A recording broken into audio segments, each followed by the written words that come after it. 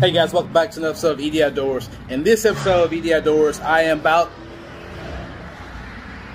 I am about to get some um, some livestock. I'm gonna pick up here in just a little while, and it's coming right up on ED Outdoors.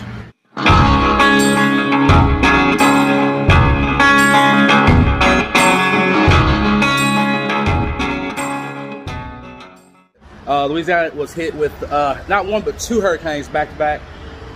Uh, one of them being Hurricane Laura, and basically uh, Hurricane Laura came through and she just tore up the tore up everything. Uh, like very very strong winds and and just kind of made it put a damper on everybody's summer.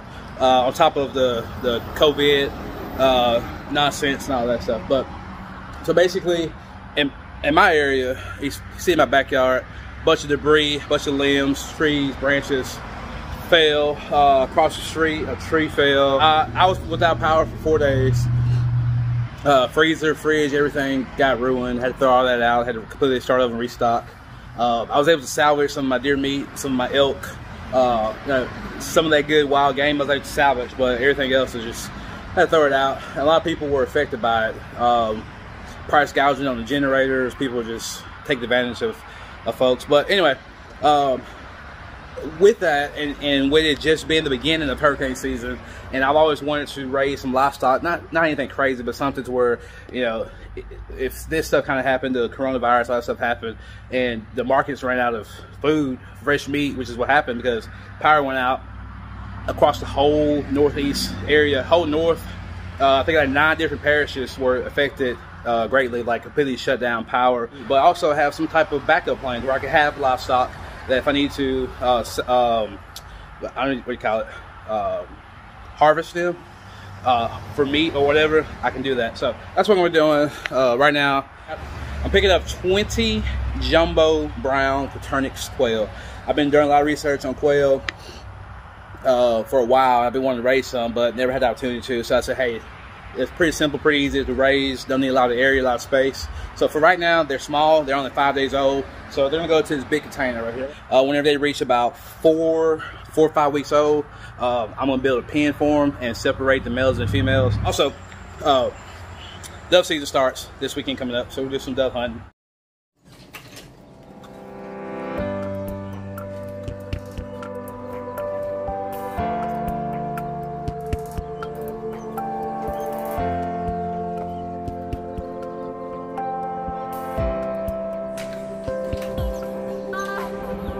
Alright guys, here's a little update on the quail.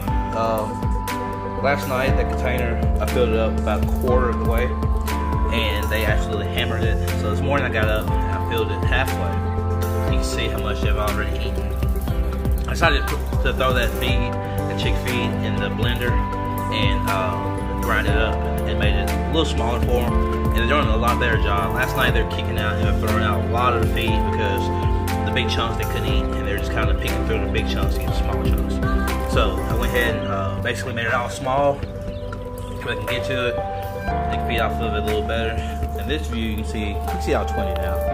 Uh, try to get to where you can see. All right, there you go. Anyway, the quail they're doing pretty good. Um, I had them uh, overnight. Today they are six days old. Keeping track of them on Thursday. Thursday will be their birthdays or their birth week. So tomorrow they'll be a week old, and we're waiting for them to hit three weeks. And at three weeks, we'll actually be able to tell the difference between the males and the females. Um, essentially, the females have speckled chests, the males have like a brown chest. These are, I mean, they're pretty tame for the most part, if they stay still long enough, okay. okay.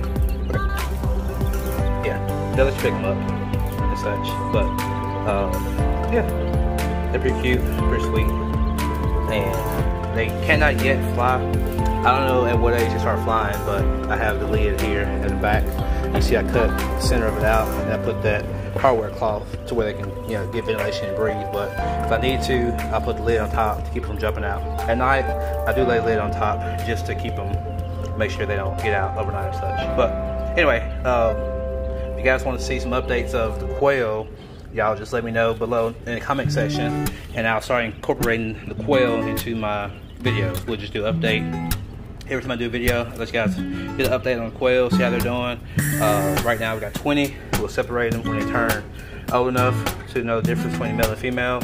I'm gonna build a big coop, keep them in, and eventually I'll move them outside in the shed uh, out back to where they're protected from the elements. And then at some point, they start laying eggs. We'll collect eggs for a while, and then we'll incubate some eggs and hatch a few more. So uh, if you guys to see all that, let me know. And we'll cut some videos and we'll show you guys. I don't know a ton about them, but I do, do know what I've learned from videos, other people,